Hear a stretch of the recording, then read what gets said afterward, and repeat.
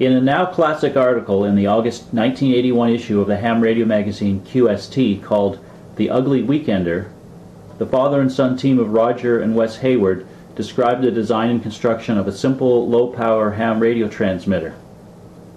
Ugly referred to the method of construction where parts are soldered directly to a bare printed circuit board. This technique is efficient, effective, flexible, and quick. The second part of the name refers to the fact that it could be built and on the air in a weekend. It uses commonly available and inexpensive parts, most of which should be in a ham's well-stacked junk box. It features VFO frequency control and CW output on the 40 meter band with about 1.5 watts of output power. It can also receive single sideband signals, but not AM. It offers low power consumption and small size, making it suitable for battery-powered portable operation. It has shaped keying and electronic TR switching and only requires 7 transistors.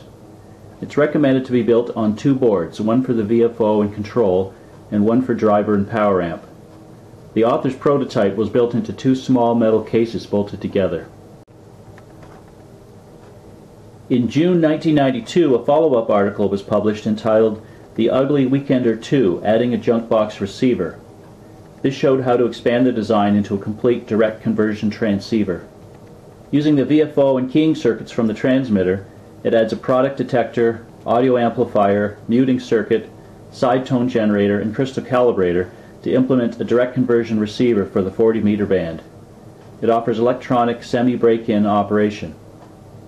The receiver uses 11 transistors, all commonly available 2N3904s, and an LM386 audio amp IC to drive headphones or a small speaker.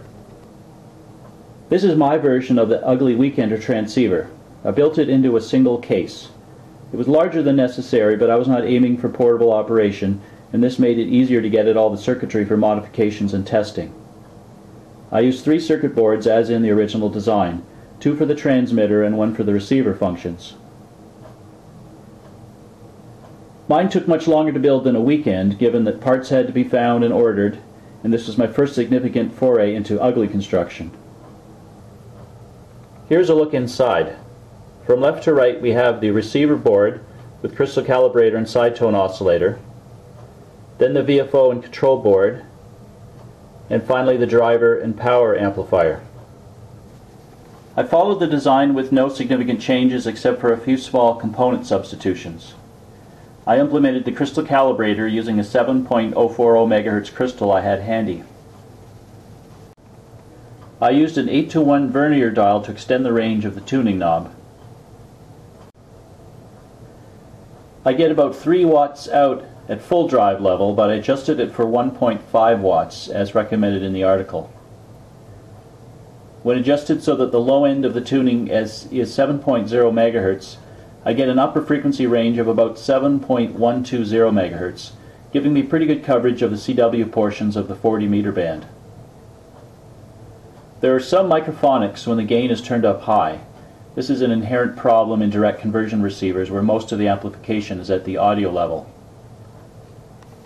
A digital dial could be added and would be a nice and inexpensive option, but the electronics inside the digital dial is at least 10,000 times as complex as the rest of the radio and takes away from the simplicity of the design.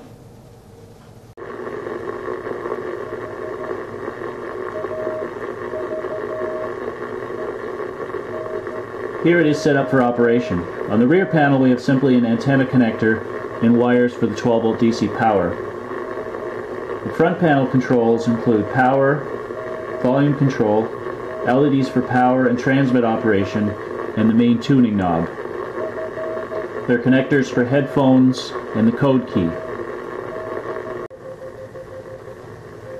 The cal button turns on the crystal calibrator, which in my case is a 7.040 MHz crystal. You can use it to confirm that the tuning is where it is to be expected. In my case, just about the center of the dial. During transmit, the VFO shifts by about 600 Hz from the frequency on receive so that you hear a beat frequency. The spot switch shifts the VFO and receive so you can zero beat the radio against the signal being received.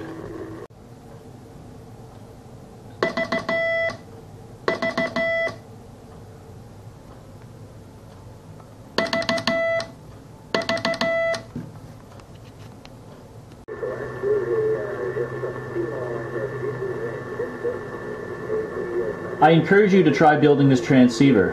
While printed circuit boards are available, the ugly construction style is highly recommended. No special equipment is needed to align it. You can build just the transmitter or the entire transceiver.